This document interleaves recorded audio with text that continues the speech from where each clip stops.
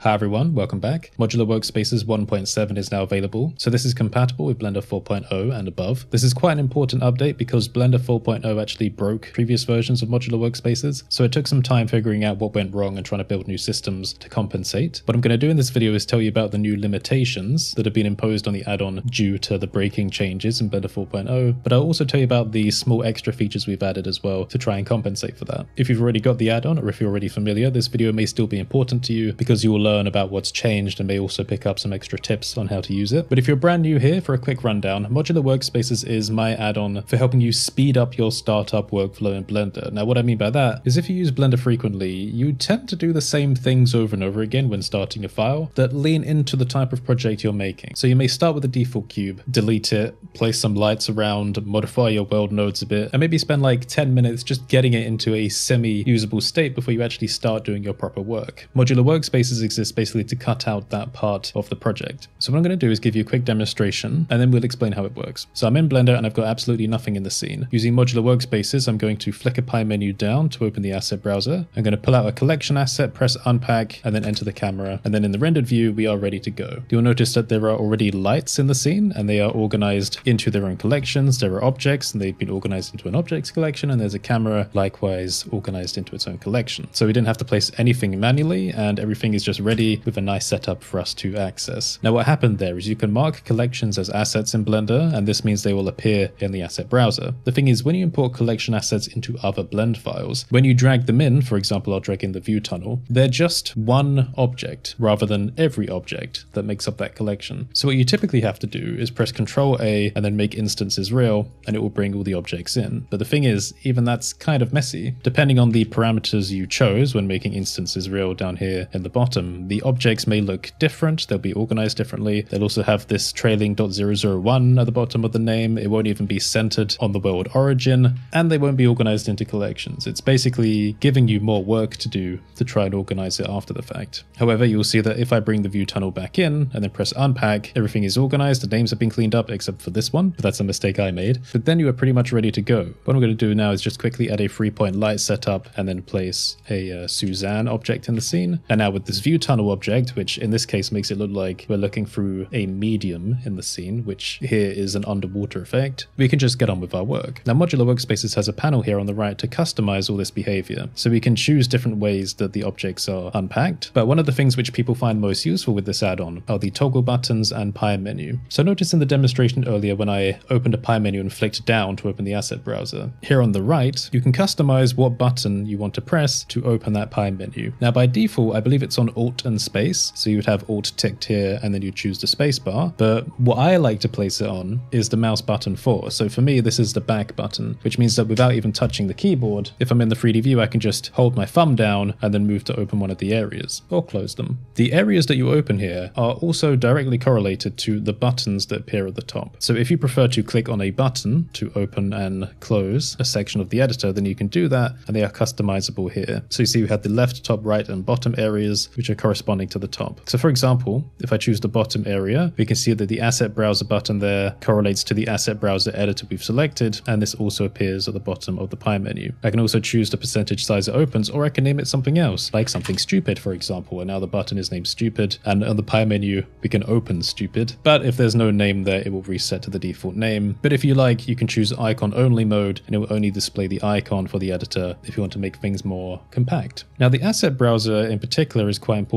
So if I open the asset browser settings here, you can see that we can set a default asset library. Now you would put the name in here, which means that when I open the asset browser, it's automatically going to choose my favorite library. So this is one where I've entered the name here. Now this is useful because if you wanted to open the asset browser manually, you'd have to, you know, drag up part of the interface, click, and then try and find the asset browser, which it doesn't matter how many years you've been using Blender. I know for a fact that most people, when they click and open menus like this, even with the old modifier menu, even if you know where the asset browser is, you're still going to spend a few extra seconds looking for it. There's just some weird psychological quirk. And even when you've opened the asset browser, it might not be on your favorite library. So you need to go click and then find it. And then even then the thumbnail size might not be what you like. So you've got to open this and then scale it down again. So there's this whole process. I didn't like that. So what you have selected in the asset browser settings here, when you open it, it will just automatically set that for you. So that saves extra time as well. It's also important to keep in mind the different parameters here because when you press unpack setup, it's going to unpack every collection collection asset it can find in the scene. What this means is if you drag in multiple collection assets, almost like choosing your favorite ingredients for a meal, you drag them all in and then press unpack, it will align them all, unpack them, and organize them for you. But sometimes you just want to bring in a collection without modifying other collection assets in the scene.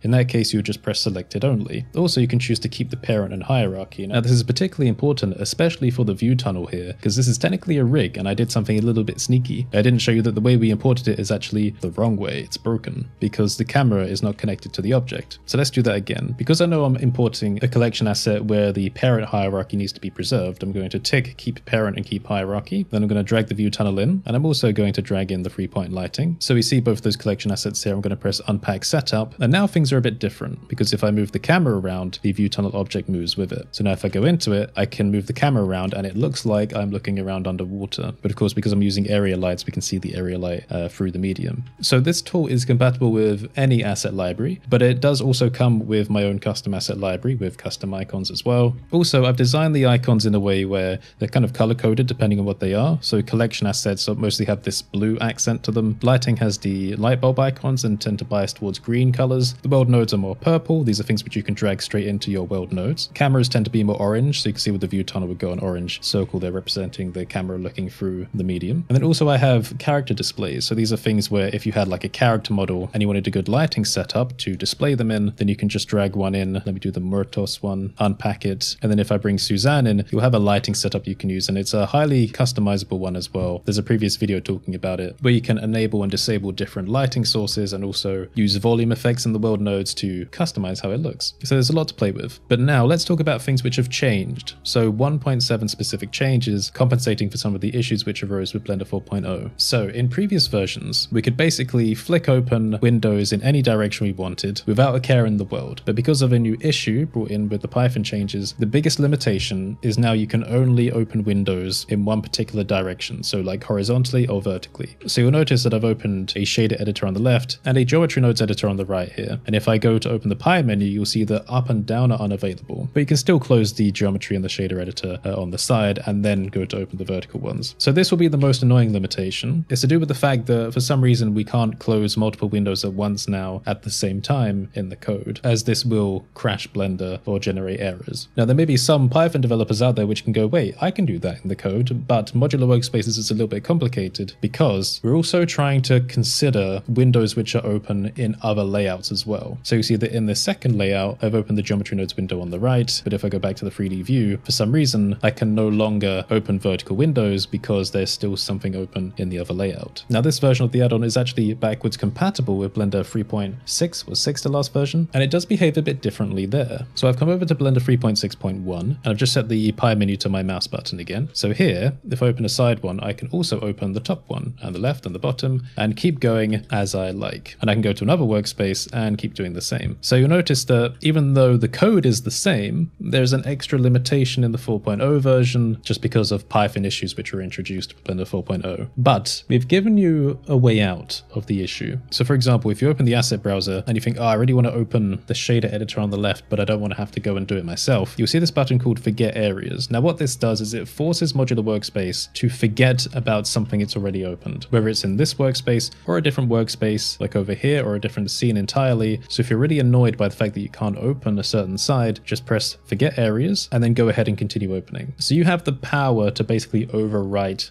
this limitation. What it means is you won't be able to then toggle the asset browser back off. So that's just an important thing to keep in mind. So the forget areas button can be found in the pie menu and again in the top right here with the big red button. So again, just to clarify, 1.7 can be used in 3.6 versions and in 4.0, but it will behave differently in each version. So it's kind of clever in a way because it's compensating for an issue and trying to prevent a crash from happening. It's taken a while to get this version up and running because of those issues, but we have to give massive thanks to Gixo, who basically did all of the legwork work for this version while I was working on the Blender 4.0 release video and afterwards as well. So you can see the issue that I have to face as an add-on developer. Sometimes you have to make difficult decisions. It's do we have to skip a version of Blender, a really important version of Blender, because the add-on is definitely going to crash people's projects? Or do we limit the feature set to force crashes not to happen, hopefully temporarily, so that when the Python issues are fixed in a future version, we can bring those limited features back again. Okay, so now that's out the way, let me just quickly mention this new collection asset. So So my startup file is also included in the product files on Gumroad and Blender Market. And in my startup file, this diorama is basically what I start with, what I look at when I open a new file. So let me just go back and reset this. So this has been like the default collection asset, if you want to think about it this way. The first thing I always drag into my file. However, recently on Twitter, another product creator called Smouse was testing some really interesting lighting techniques using light nodes to modify the influence of point lights to create some gradient lighting effects. And I like this so much that I created a new version of this diorama called Diorama Color. So that is what this is. So again, it's effectively the same diorama setup, but now you have this beautiful color lighting, which you can very easily modify in the shader nodes as well. And then you'll see it says inspired by Smouse. So I feel like this is something that people will really like. Maybe you might even want to set this as your startup file. Also, previously, where you would download the files for this add-on, you would be able to download a zip file for the included asset library and also a blend file version. You would use the zip file, for example, if you wanted to go to edit, preferences, file paths, and then extract the folder in the zip file to contain all of the categories in the asset library as well as all the content. So basically everything is pre-organized for you and you would link the extracted folder